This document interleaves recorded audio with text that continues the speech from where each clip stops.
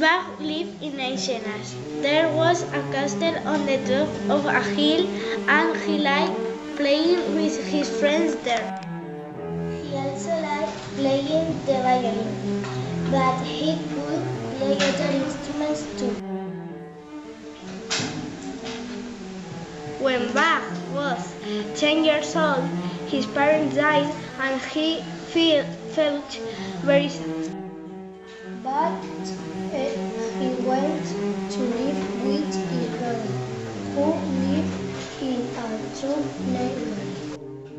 At his brother's house, he used to climb to the rooftop and compose songs under the moonlight.